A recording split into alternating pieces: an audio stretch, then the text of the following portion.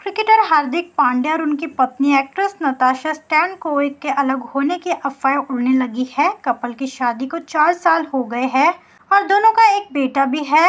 हार्दिक और नताशा 31 मई 2020 में शादी के बंधन में बंधे थे और इसी साल उनके बेटे अगस्त का 30 जुलाई के दिन जन्म हुआ। हार्दिक और नताशा के अलग होने की आशंकाएँ ये देखते हुए लगाई जा रही है कि दोनों एक दूसरे के बारे में सोशल मीडिया पर कुछ भी पोस्ट नहीं कर रहे हैं। एक दूसरे के लिए स्टोरी नहीं डाल रहे हैं और जब नताशा का मार्च में जन्मदिन था तब भी हार्दिक ने नताशा को सोशल मीडिया के ज़रिए विश नहीं किया और ना ही उनके लिए कोई पोस्ट किया सोशल मीडिया पर यूज़र्स का कहना है कि शायद दोनों के बीच कुछ ठीक नहीं चल रहा है।